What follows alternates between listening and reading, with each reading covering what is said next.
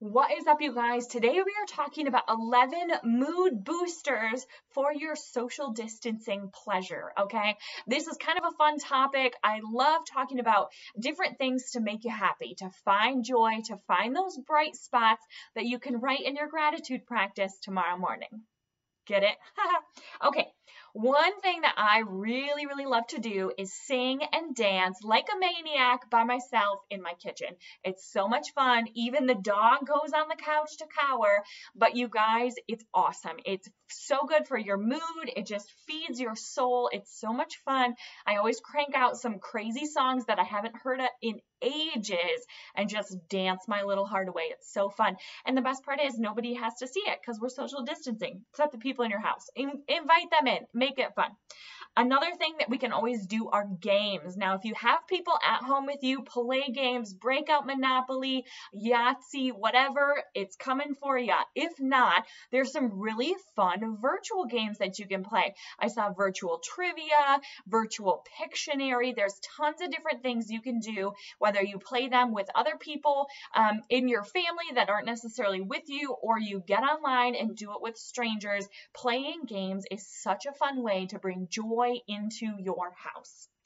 Number three is cooking, cooking and baking. You guys, I love to cook and bake. I know that not everybody does. If that's you, you're like, what?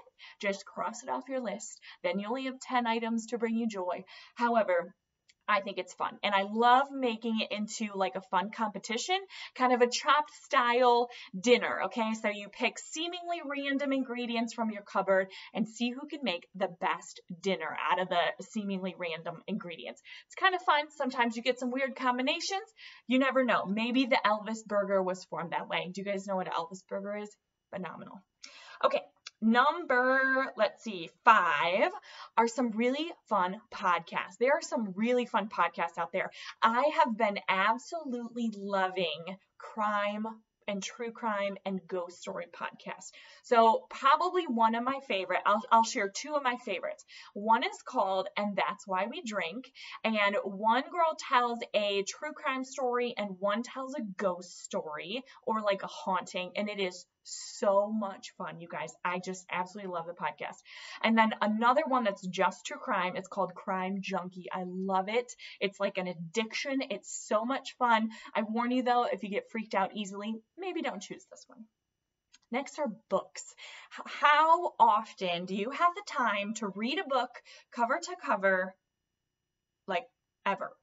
Maybe when you're on vacation a couple times a year. Now, maybe you've got kids at home and you'll have to be a little bit flexible with this. But you guys, I read a book today and it's right now 11:30 in the morning. So that's pretty awesome, right? How cool is that? You can read anything you want. There are tons of good books out there. Um, you probably have tons of good books at your house that are waiting to be read. I know that's what I did since we can't really go to the library or anything, but that was kind of a fun thing to do. Um, there's some also really good things on TV right now. People are knowing they're kind of pulling out the cards on their back pocket, knowing that we're trapped inside and we're watching all the good shows right now. So binge those shows. Right now, my husband and I are watching Parks and Rec, and we started watching The Tiger King on Netflix, which is insane and so addicting. You'll have to check it out.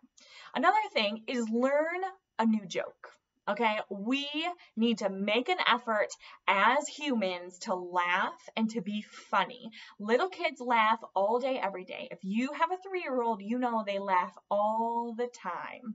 And then as adults, we stop laughing. Life gets too serious. We put that, it goes by the wayside, and we stop laughing. We stop having joy and bringing laughter and jokes into our lives. And we need to do that. So, learn a new joke. Maybe I'll post one later. Another fun thing is crafts. It is Easter time almost, and good good spring crafts are always something fun to do. Um, so go on Pinterest, find some different things. Earlier today, I or earlier yesterday, I made a tissue paper wreath that looked like little Easter eggs. It was so cute, you guys, and it was stuff that I already had at home. So much fun. Um, the next thing, this is a really, really important, maybe the most important one. The next two are really good.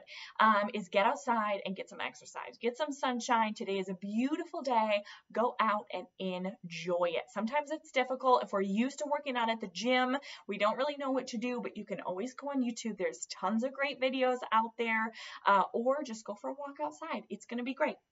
And also, speaking of walking outside in the sun, exercise is also on our list. Make sure you guys are exercising. Okay, this is super important, especially if you're dealing with some mental health kind of things you're not used to, a little bit of anxiety, some increased stress from this.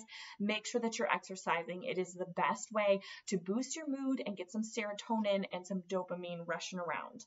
And the next thing, number 11, is to try something new. Maybe you want a new skill. Maybe you've always learned, wanted to learn how to knit or um, whatever. Do computer programming. It can be anything. There are tons of things to learn out there on the internet. Learn something new and have fun with it. Okay. I hope this list brought you some joy and I hope you try something new and fun today. You guys have a great week and we'll see you later.